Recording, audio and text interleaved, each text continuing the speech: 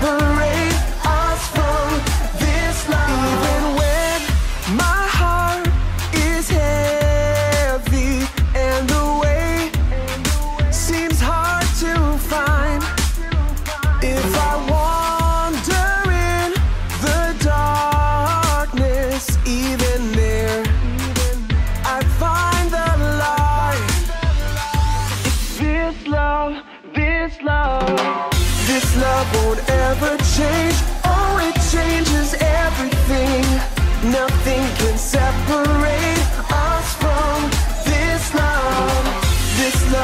full of grace, chases us from miles away. Nothing can separate us from this love. Oh, we are this love, this love. Oh, we are this love, this love. I've seen what love is. I've seen where love goes. I've seen what love does. It changes everything. I've seen what love is. I've seen where love goes. I've seen what love does. It changes everything. I've seen what love is. I've seen where love goes. I've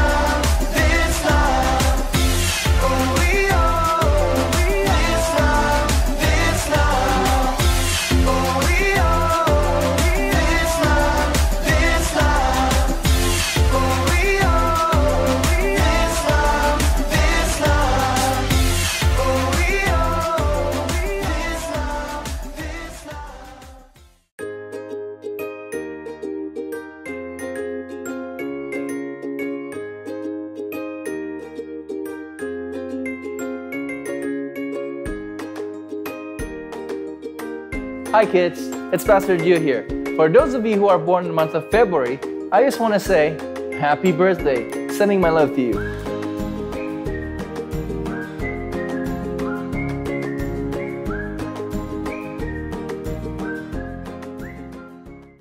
Hey kids, welcome to Young. It's me, Miss Giffy.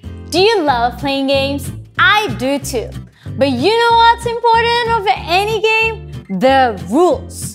If there are no rules, the game is just going to be chaos. Well, the Bible teaches us so many rules for our lives, but everything that God teaches us in the Bible can be summed up into two rules. Let's find out what there are in today's lesson. Before we get into it, let's pray. Dear Jesus, thank you so much for today. We're so excited to hear more about you. Please prepare our hearts and our mind. In Jesus' name we pray. Amen. The Bible. It's 66 books of history, stories, letters, and poetry that fit together to form God's one big story. The epic adventure of how He created us and loves us so much that He made a way to rescue us. As we travel through the Bible, from Genesis to Revelation, we discover people who met God and found their lives changed forever. Now, for an amazing story, inspired by the book of Matthew, chapter 22, verses 36 through 40. The book of Matthew, the very first book in the New Testament, was written by, you guessed it, Matthew. Now, even though he was a tax collector and disliked by others, he became one of Jesus' followers. And years later, he wrote an eyewitness account of the things that Jesus said and did. For example, he tells us of the day that the religious leaders tried to trap Jesus with a trick question. Teacher, which is the most important commandment in the law? The religious leaders followed 613 different laws. They wanted Jesus to pick just one law so Jesus would get in trouble for leaving out the other 612 laws. But Jesus didn't fall into their trap. Instead, he took this opportunity to show everyone that following God doesn't have to be complicated. Love the Lord your God with all your heart and with all your soul. Love him with all your mind. This is the first and most important commandment. And the second is like it love your neighbor as you love yourself. Everything that is written in the law and the prophets is based on these two commandments. Now, Jesus wasn't saying that the other 611 laws were wrong. He was only saying that if you look at every choice in your life through the lens of loving God and loving others, you won't go wrong. If you love God and love people, you will fulfill all the other laws. It's truly that simple. Often, it's in our darkest times that we find the most amazing opportunities to show love to others. In the past year, due to COVID 19, we've seen a lot of people put themselves on the line to help others. Doctors, nurses, medical workers. But we've also seen grocery store cashiers and delivery workers put themselves at risk of getting sick. So each of us could have the food and supplies we need. That's love in a big way. And you know what? Young people and kids have stepped up too. In Reno, Nevada, a college student named Jade Powell recruited a few friends to help elderly people buy their groceries during the pandemic. Within a few days, the idea took off. More and more volunteers jumped in to help shop and drop off groceries on the doorstep of older individuals. Within weeks, Shopping Angels reached all 50 states and other countries too, all because one student saw a need and chose to stop and show God's love. Sometimes showing love to others only takes a few minutes. In Columbus, Ohio, Taryn, who is nine, and Calliope, who's six, knew their elderly neighbor loved classical music. Because she was in isolation and couldn't go out, they took a concert to her front porch. For 30 minutes, they played a private cello concert just to brighten her day. It was a simple and amazing way to show love to others. Let's look at one more story.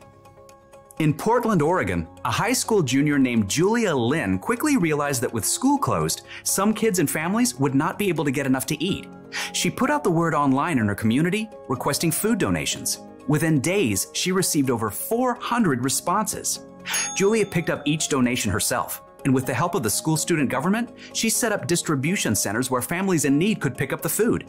In helping provide food to hungry people, Julia was clearly showing God's love in action. God loves us so deeply. He's done so much for us, it's our responsibility to take that same love and show it to others. As Paul reminds us in the book of 1 Timothy, Don't let anyone look down on you because you are young. Set an example for the believers in what you say and in how you live. Also, set an example in how you love in what you believe. don't wait for somebody else to go first. Now is your time. Now is your chance to love God by loving others.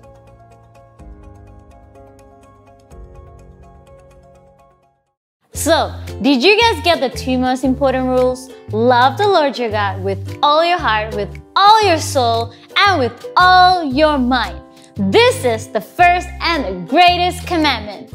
And the second is like, love your neighbor as yourself. Love God and love others. All the other rules in the Bible fall under these two commandments. So even we can remember all the rules in the Bible because there are a lot of them. We just need to remember to love God and love others. And it's time for our key passage. Our key passage for this month is taken from Matthew 22, verse 37 until 39. Love the Lord your God with all your heart and with all your soul and with all your mind. This is the first and greatest commandment. And the second one is love your neighbor as yourself.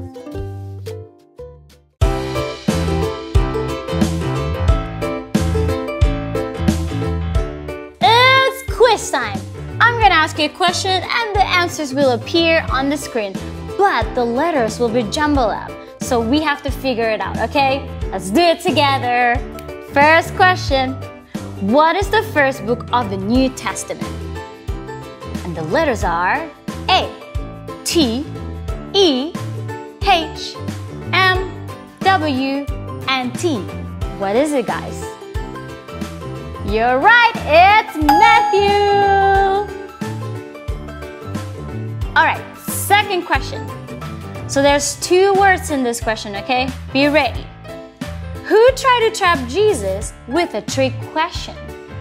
All right, the letters are G, I, R, E, O, U, S, L, I. And for the second word is L, D, E, R, E, A, and S. Yes, that's right, religious leaders. All right, third question. You have to fill in the blank, okay? The two greatest commandments are blank God and blank others. And the letters are E, V, L, O. You know what it is, guys. Yes, it's love! Good job, everyone! That's it for today, kids. I hope you had a great Sunday with us. We also have exciting videos for you throughout the week, starting from Monday and Wednesday. Don't forget to check it out. We also have our Zoom classes later this afternoon. But before we go, let's pray. Dear Jesus, wow, you are so amazing. Thank you for reminding us to love you more every single day and to love other people. And we commit this week into your name. In Jesus' name we pray. Amen.